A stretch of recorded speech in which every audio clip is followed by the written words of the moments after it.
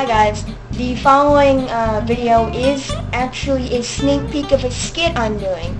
Um, I'm doing a skit, um, these.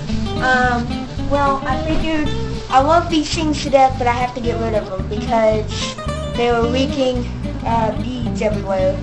So, excuse me, um, please enjoy the sneak peek while the actual uh, skit, which will be about 10 to 15 minutes long, what I'm aiming for, is ready.